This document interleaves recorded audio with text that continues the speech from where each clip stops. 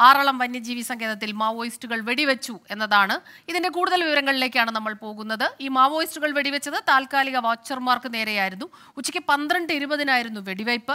അടയ്ക്കാത്തോട് വാളമുക്ക് സ്വദേശികളായ എബിൻ സിജോ ബോബസ് എന്നിവർക്ക് നേരെയാണ് വെടിവയ്പ് ഉണ്ടായത്. വെടിവയ്പ് wildlife warden G Pradeep സ്ഥിരീകരിക്കുകയും ചെയ്തു.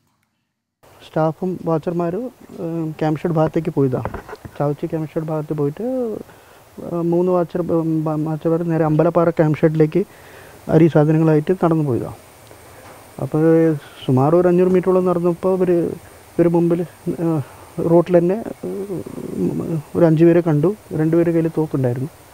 ഇവരെ കണ്ടപാടെ മൂന്ന് ഒരു മൂന്ന് പേര് ഓടി പക്ഷേ ബാക്കി രണ്ട് പേര് ഇവരെ ഇവരെ കണ്ടുപാടെ ഒരു വെടിവെച്ചു ഇവർക്ക്.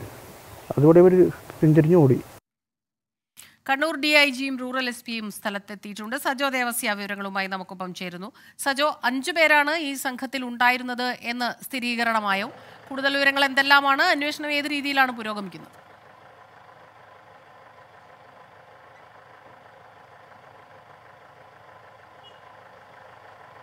സ്മിത ഒരു വനിതയടക്കം അഞ്ചു പേരാണ് മാവോയിസ്റ്റ് സംഘത്തിൽ ഉണ്ടായിരുന്നത് രണ്ടു പേരുടെ കൈവശം തോക്കുകൾ ഉണ്ടായിരുന്നു ഈ തോക്ക് ഉപയോഗിച്ചാണ് താൽക്കാലിക ഫോറസ്റ്റ് വാച്ചർമാർക്ക് നേരെ വെടിയുതിർത്തത്.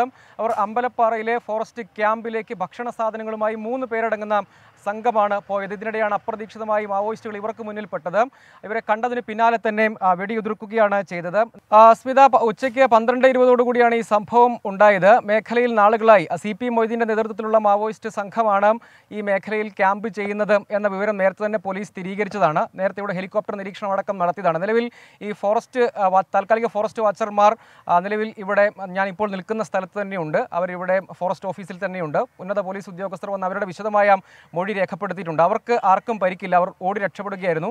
മറ്റു കുഴപ്പങ്ങളൊന്നും അവരെ സംബന്ധിച്ചിടത്തോളം ഇല്ല പക്ഷേ മേഖലയിൽ വലിയ തോതിലുള്ള സുരക്ഷാ ഭീഷണി എന്ന നിലയിലേക്ക് കാര്യങ്ങൾ മാറിയിട്ടുണ്ട്. ഡി ഐ ജി അടക്കം സ്ഥലത്തേക്ക് എത്തുകയും വിശദമായ തിരച്ചിൽ ഈ വിലയിരു കാര്യങ്ങൾ വിലയിരുത്തുകയും ചെയ്തിട്ടുണ്ട്. ഒപ്പം പ്രത്യേക തണ്ടർ ബോൾട്ട് സംഘത്തെ ഈ സ്ഥലത്ത് തന്നെ നിയോഗിച്ചിട്ടുണ്ട്. മാവോയിസ്റ്റ് സംഘത്തെ കണ്ടെത്തുന്നതിന് വേണ്ടിയുള്ള വിപുലമായ തിരച്ചിൽ ഉണ്ടാകും എന്നുകൂടി പറയുന്നുണ്ട്. നേരത്തെയും ആയുധമേന്തി അയ്യങ്കുന്ന് പഞ്ചായത്തിലെ വിവിധ സ്ഥലങ്ങളിലടക്കം പ്രകടനം നടത്തിയിരുന്നു. ആറളം പഞ്ചായത്തിലെ വിയറ്റ്നാമിലടക്കം മാവോയിസ്റ്റ് സംഘം. അങ്ങനെ വിവിധ സ്ഥലങ്ങളിൽ മാവോയിസ്റ്റ് സംഘം തുടർച്ചയായി എത്തുകയും അവിടെ നിന്ന് അവർക്ക് ഭക്ഷണ സാധനങ്ങൾ ശേഖരിക്കുന്നു. അവരുടെ കൈവശമുള്ള ഡിജിറ്റൽ ഡിവൈസുകൾ ചാർജ് ചെയ്യുന്നു. അത്തരം സംഭവങ്ങൾ തുടർച്ചയായി ഉണ്ടാകുന്നുണ്ട്.